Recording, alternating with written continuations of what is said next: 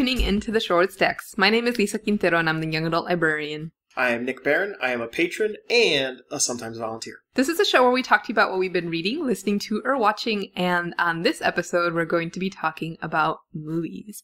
Library news.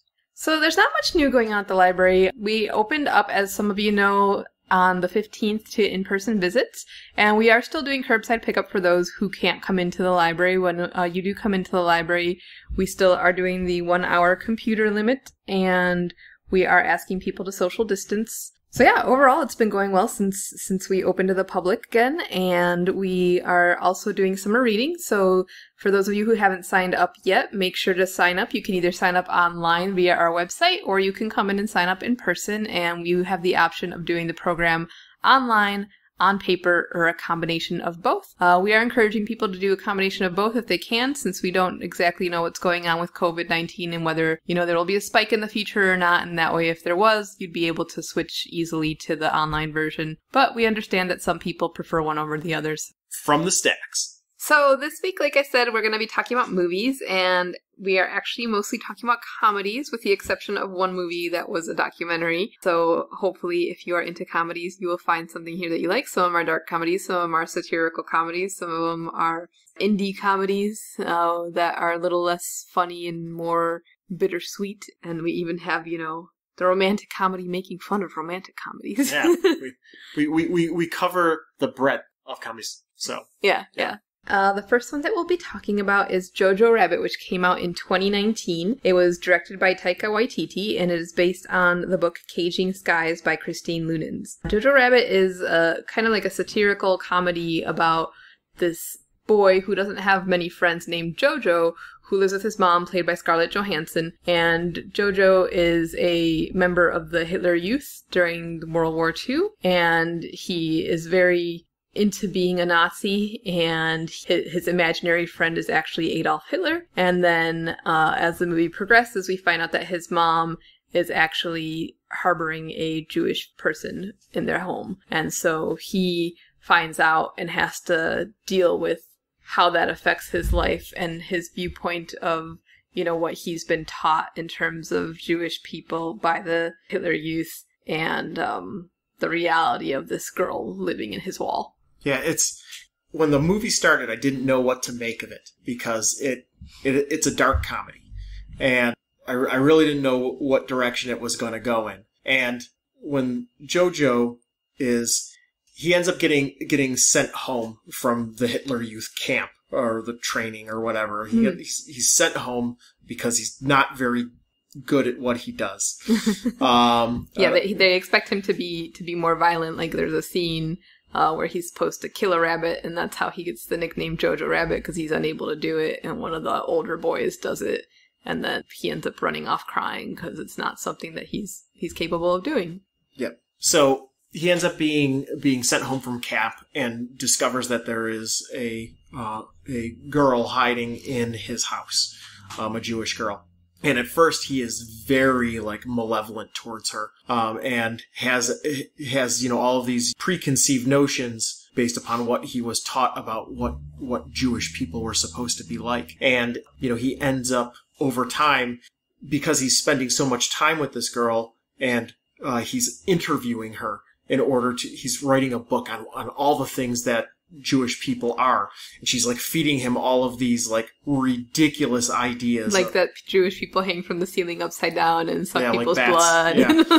so so he, uh, he's compiling compiling this book and interviewing this girl and over time um, he of course develops a friendship. Mm-hmm. Yeah, uh, I wasn't really sure what to what to expect from that movie because I didn't really know much about it going into it, but I I enjoyed it. It was it was very different. And at first, when it first started, I was like, this is strange, especially because it's, it's kind of surrealistic, you know, his um, friendship with his imaginary friend Hitler, because we actually see Hitler, and Hitler's actually played by the director Taika Waititi.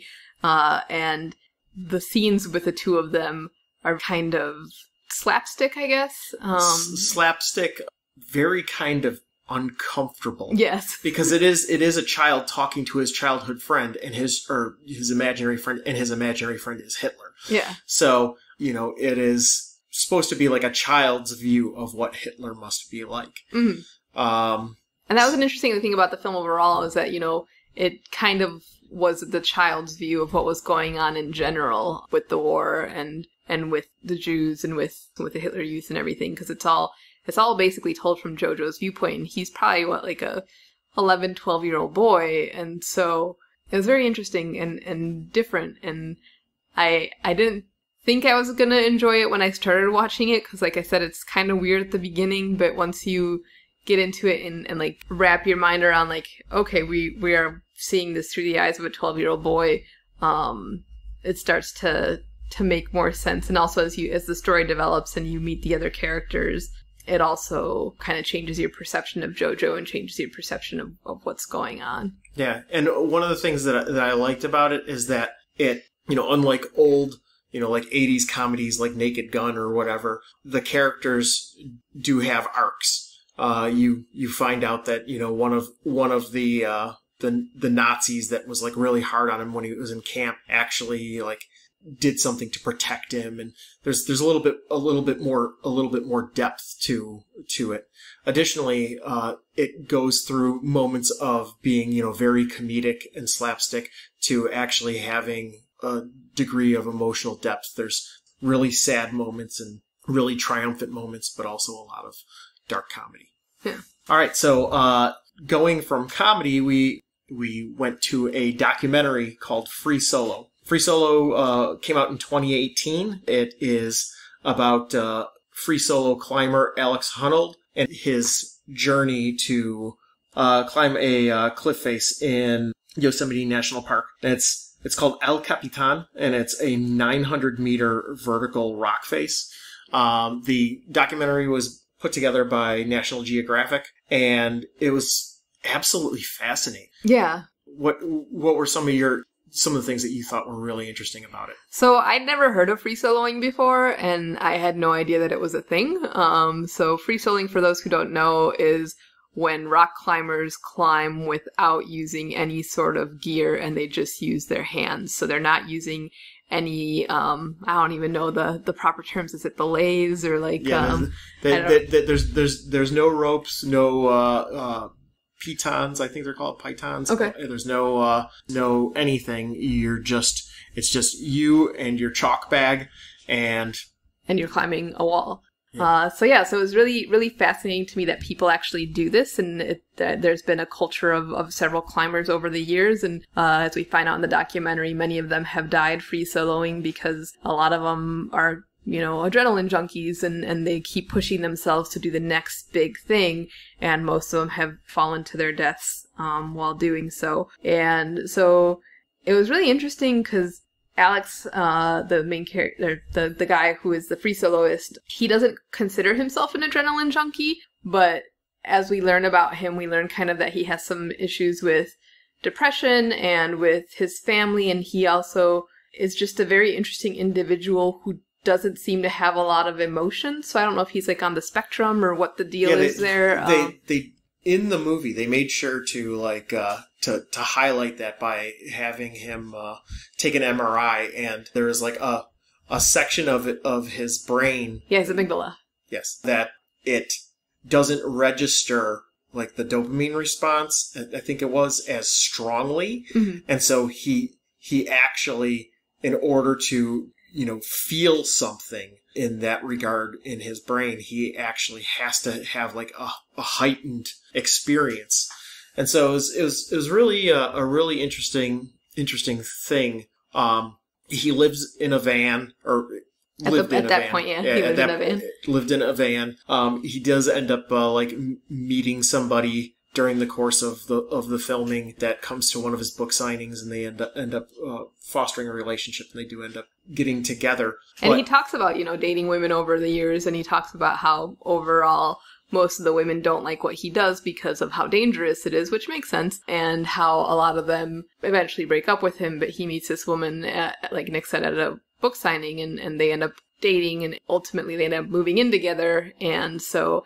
it was interesting, too, to see their relationship develop, because on the one hand, you know, she tried to be supportive of him and his climbing, and on the other hand, you can tell that it, it really upsets her that he needs to climb so much. And at various points in the film when he's asked if he had to pick between climbing and her what he would pick he just flat out says like i would pick climbing. Like climbing is my life and this is what i do. And either she understands that or we can't be together. Yeah. and so i thought that was very interesting. And you know the feelings that he gets from climbing like nick said his his brain doesn't process things the way the rest of us do. So he needs this elevated sense of excitement in order to feel stuff. And you know it made me wonder because he ultimately ends up doing this climb and it made me wonder like okay will he ever stop or is this he just just gonna go for the next big thing and the next big thing and and is he gonna end up like all of his predecessors and eventually you know die doing the thing he loves? But then the movie also brings up the question like if you love something that much and, and you die doing the thing you love like is that bad or is you know is it okay and like he seems to personally feel from the way he talks about in the movie that like that he is reconciled with the fact that that is probably how he's going to die and he's Mhm. okay with that Yep. um yeah Yeah, and a, a couple other interesting notes. Uh, one part of the reason why this, why they documented this and why it was significant is because no one had ever climbed El Capitan uh, free solo, and it was interesting watching the process because he actually climbed El Capitan with ropes multiple times Mhm. in order to figure out what his path, because there are there are like known paths in order to uh, get up different mountain different mountains and cliff faces and what have you but uh, he had to figure out you know how what what route was he going to take and what how was he going to grab certain things and he kept detailed notes okay at this point i need to do this at this point i need to do this. It's it's fascinating because part of this 900 meter climb he had to like go up and then go back down a ways and then go back up again because of the the route that he needed to take in order to be able to have the handholds and things that he needed to, to make this climb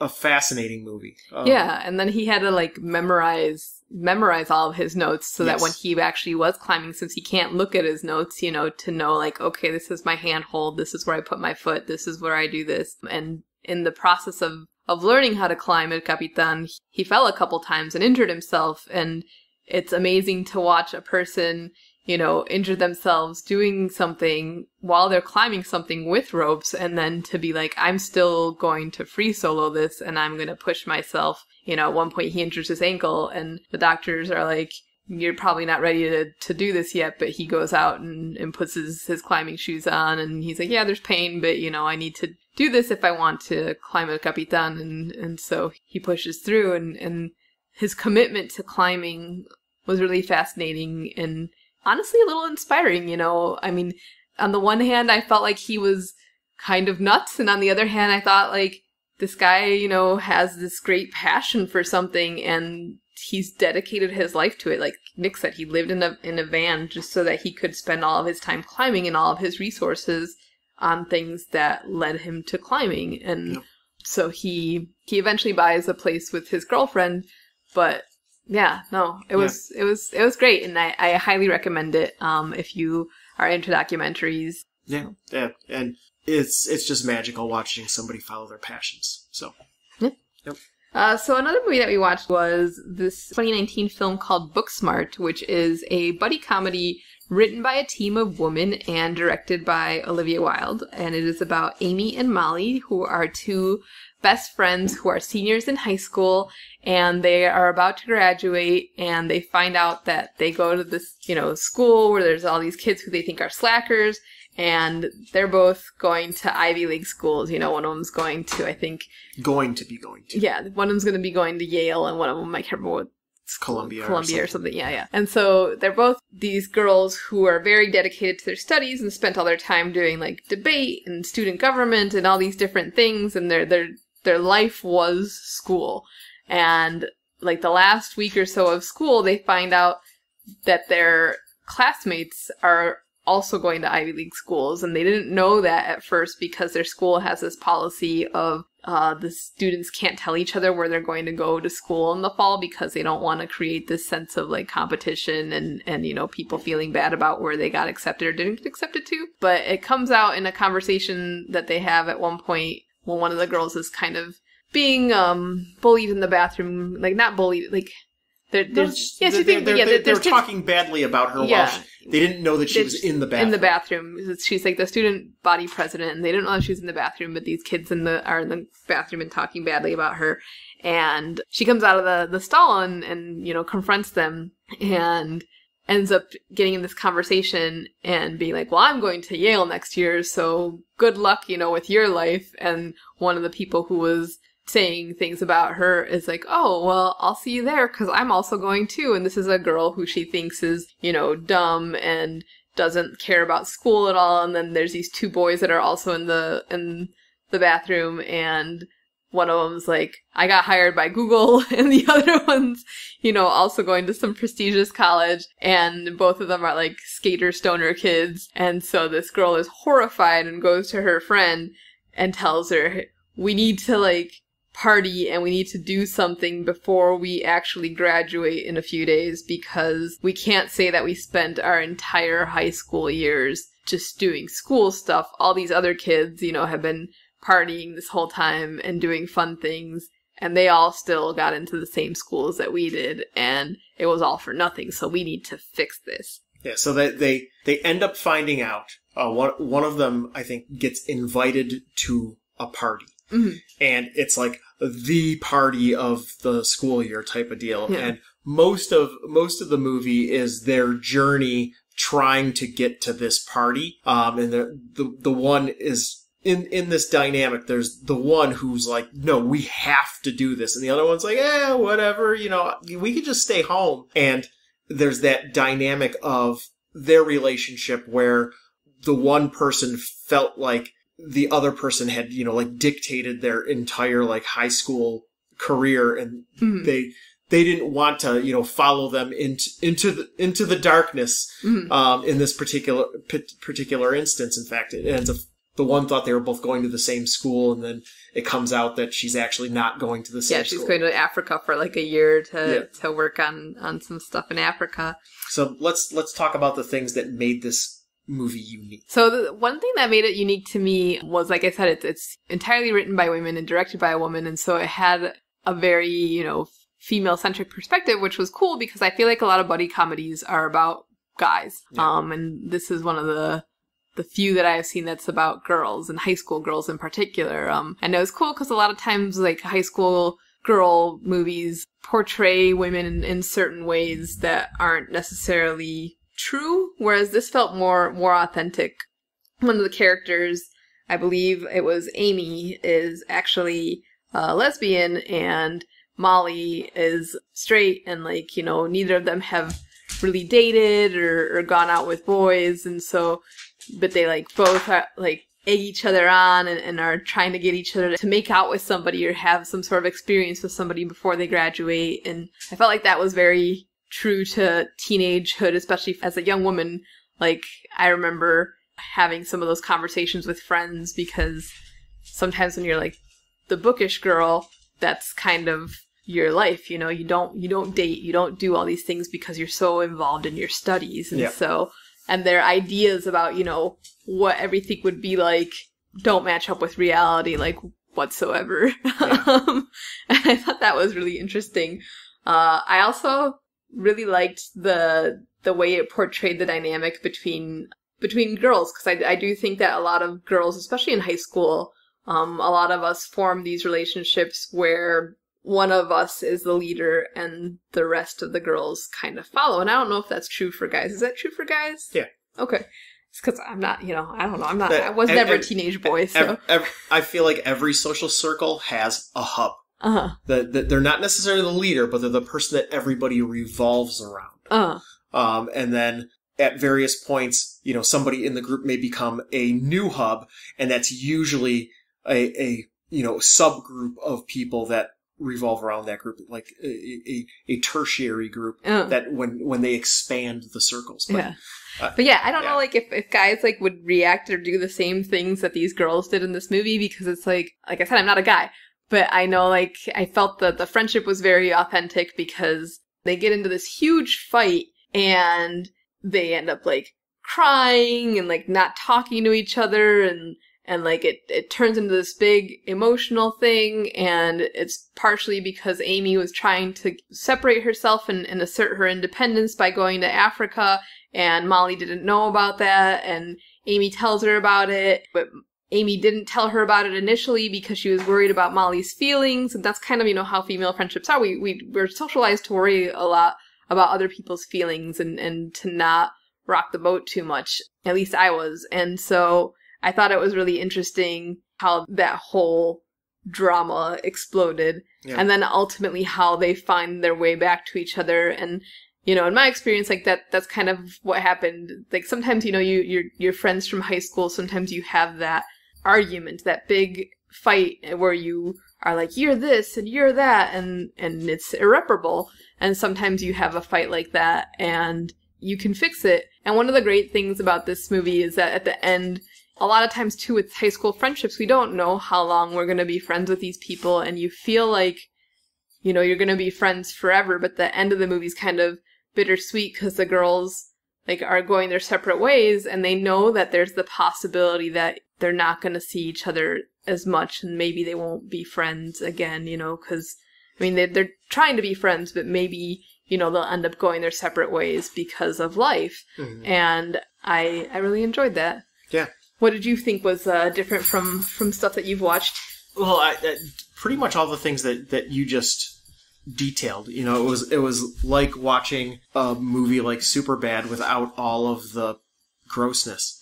Because I, I think that unfortunately most movies that document the the coming of age of young men usually revolves around some sort of terrible cliche storyline where one of the young men or all the young men are trying to get somebody drunk in order to score. Mhm. Um, and uh, yeah, it it didn't it was as funny as a movie like Superbad without the grossness. Mhm. And I thought when I when I saw the previews, I was like, oh, this this looks like it could be be kind of funny, but I, I secretly expected it to be terrible, and I thought it was great. Yeah, yeah, no, I enjoyed it a lot. And their journey to the to the uh, the party is great because they encounter all these different characters.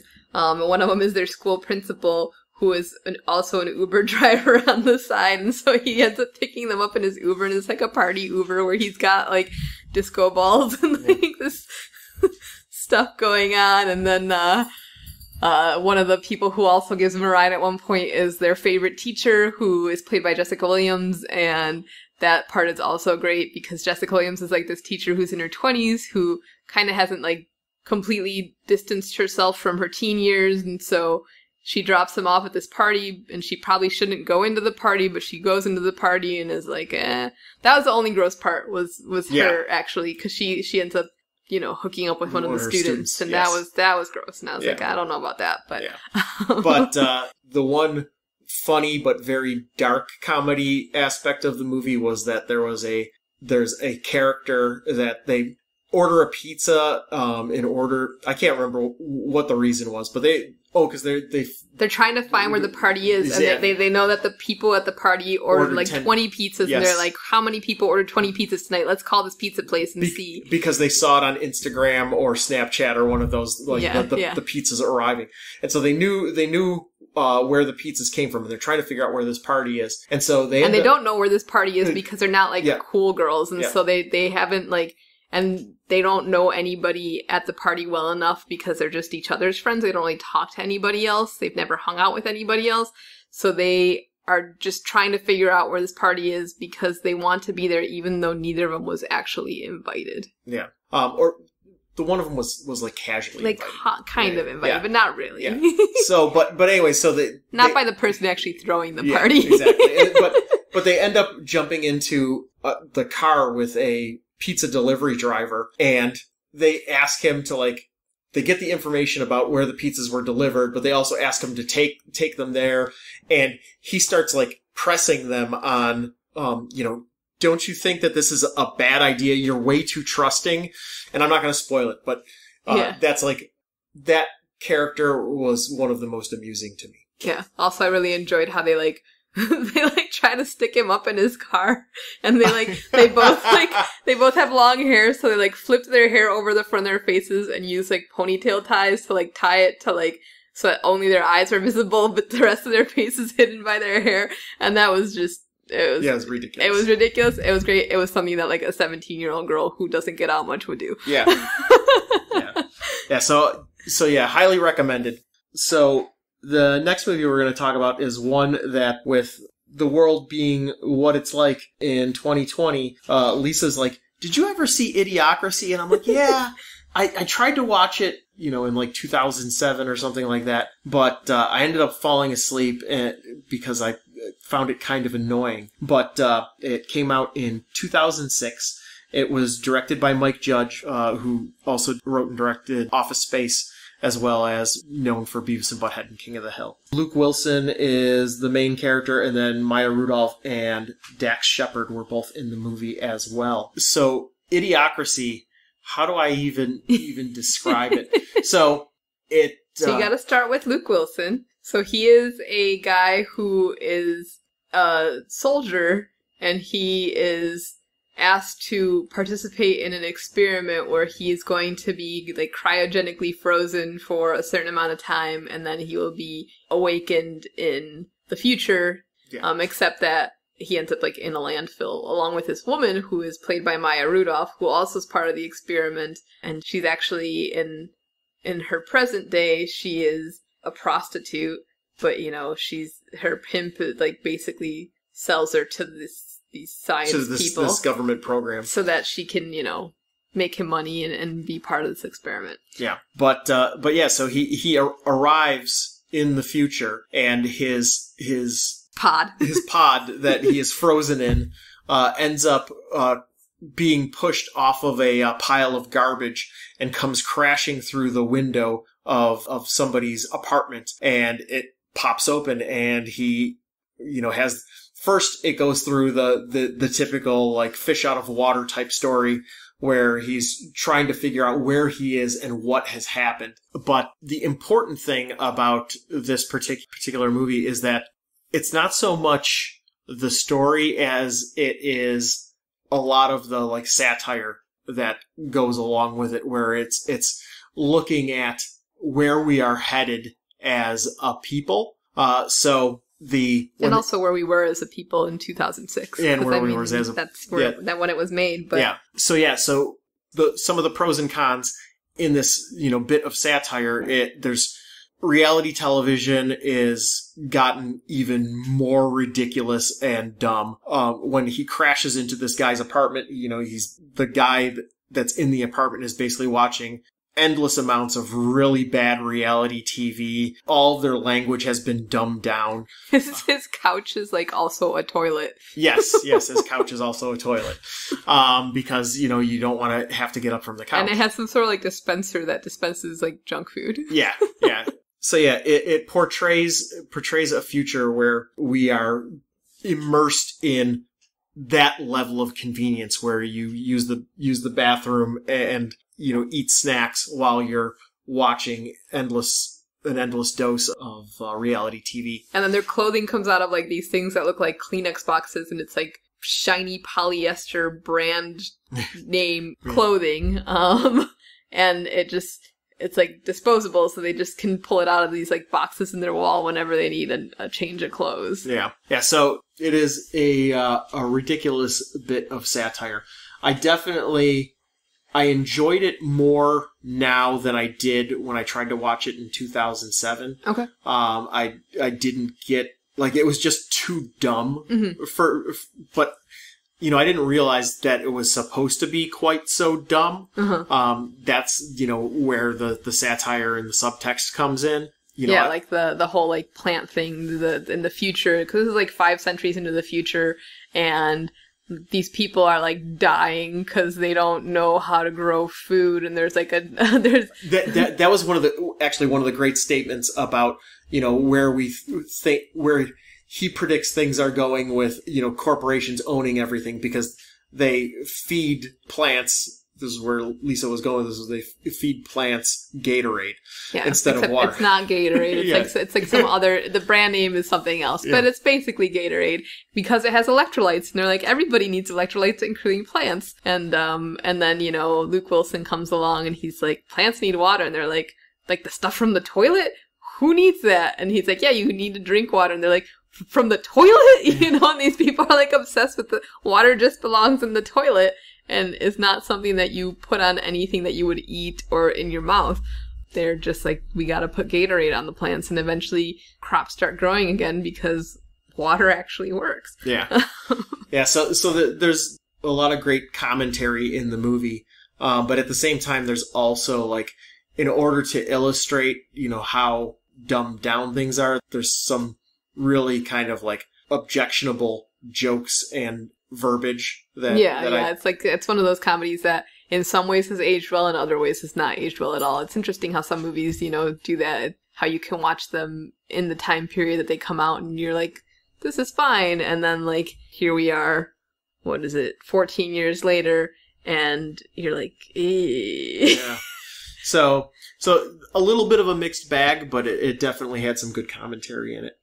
Yeah, yeah. It's not the best movie ever, um, but it, it is interesting thinking about it in terms of, of where we are now and in terms of where we're headed, like Nick said. And if it didn't have the e moments, it would be great, but Yeah.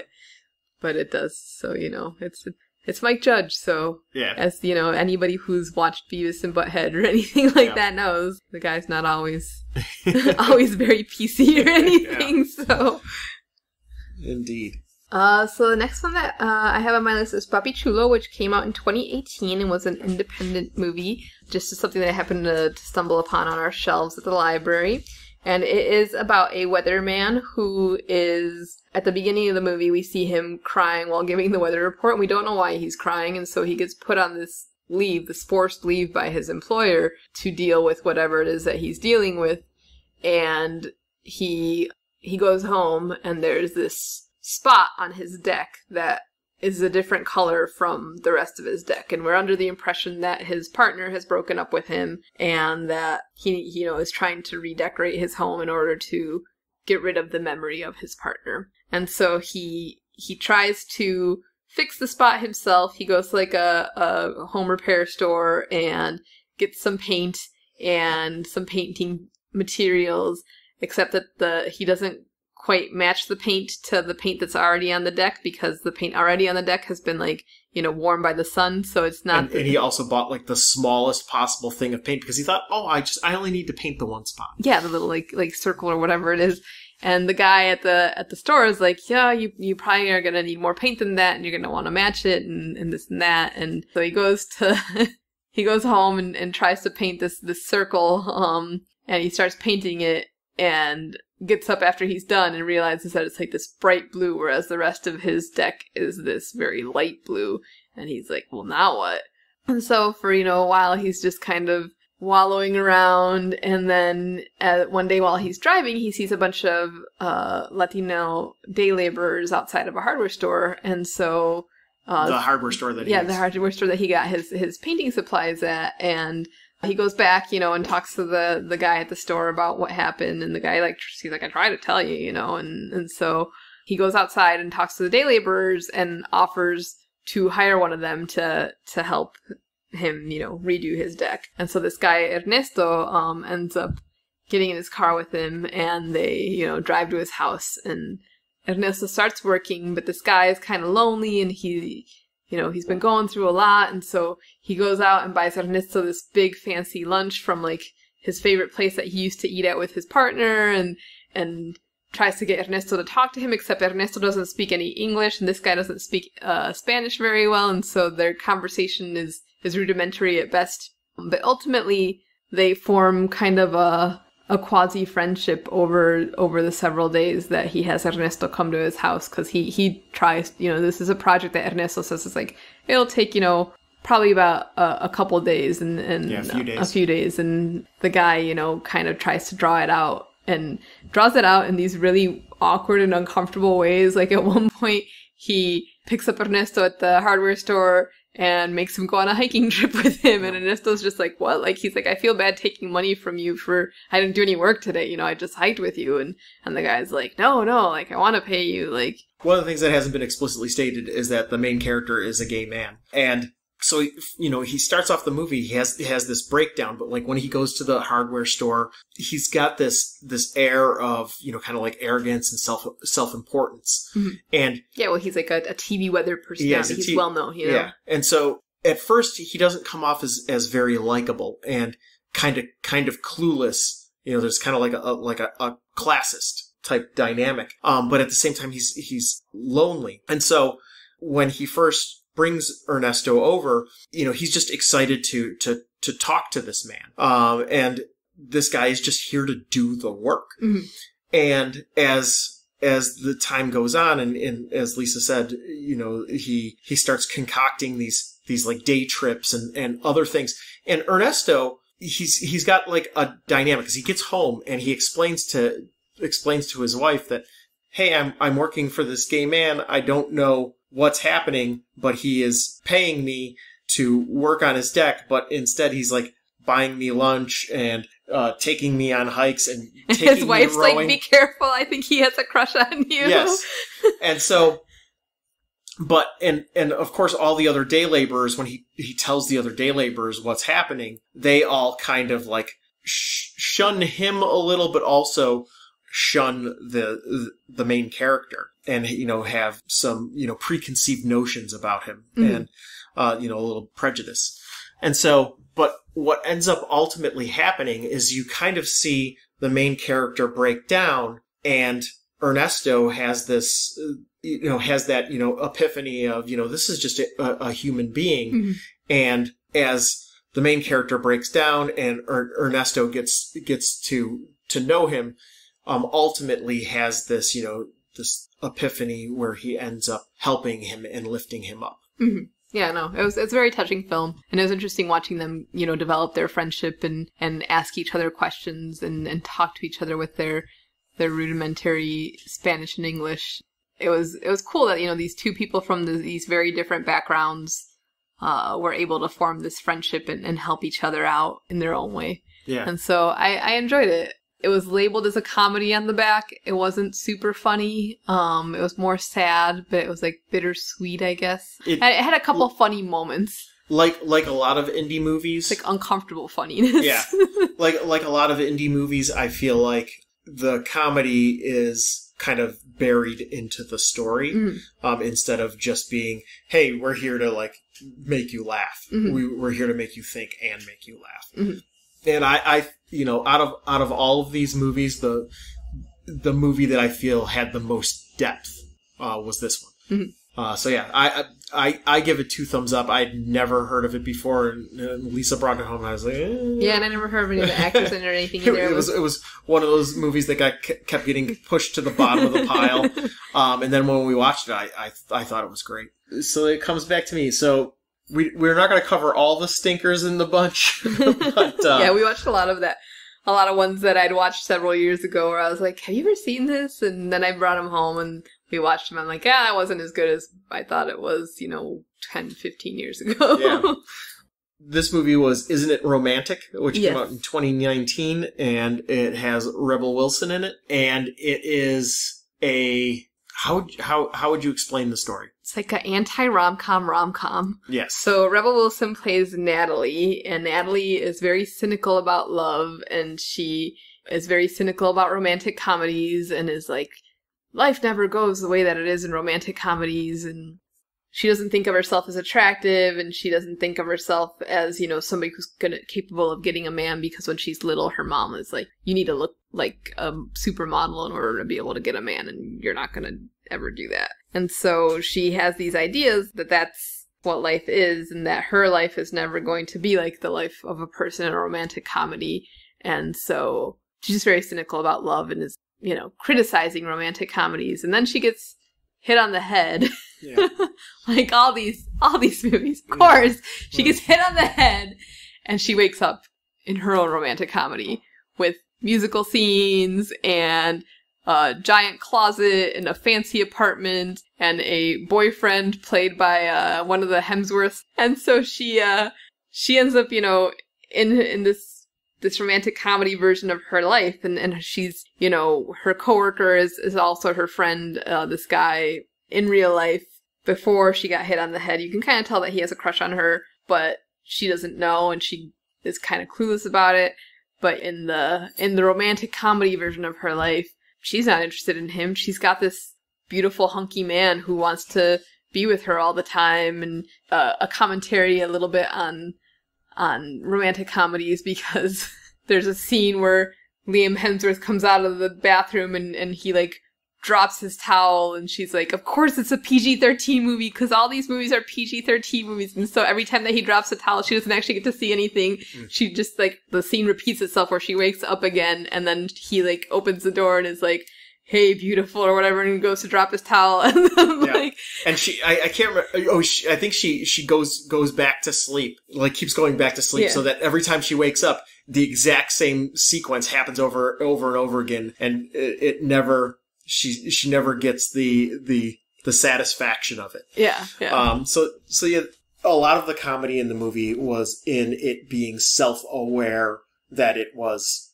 a comedy a romantic comedy a romantic comedy yeah. Uh, I there was a lot of moments in the movie where I was just just like it was just kind of like cringeworthy in this in the sense of just I don't know. It, it just it, it, was like the corniest, cheesiest romantic comedy you could think of because yeah. it like it took all the romantic comedy elements and like ramped them up to like 100. Yeah. So like I said, I mean, there's like there's musical numbers, there's all sorts of just ridiculousness, you know, and, and in her real life, like her her friend at the office is a woman and and they get along really well and then like her romantic comedy life like they're rivals and they have to like duke it out um and they're really mean to each other.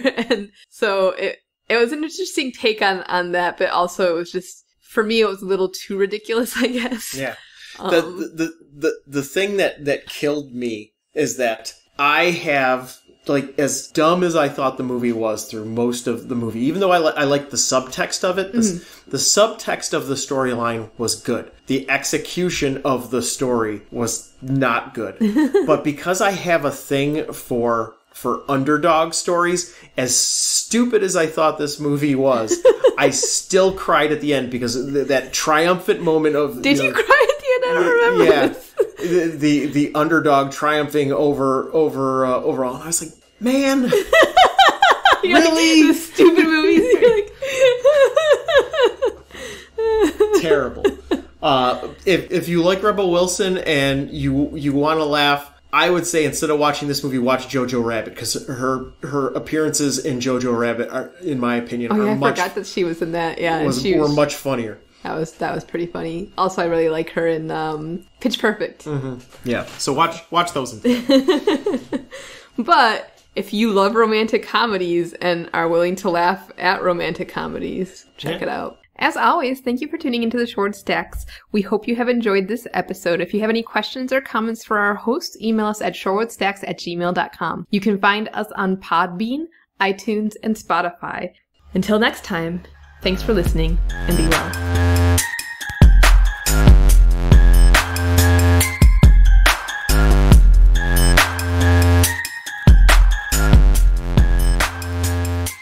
The Shorewood Stacks is produced by Lisa Quintero and Nick Barron for the Shorewood Public Library. Music on this episode is by Kevin MacLeod. The song is called Ice Flow and can be found at incompetech.com.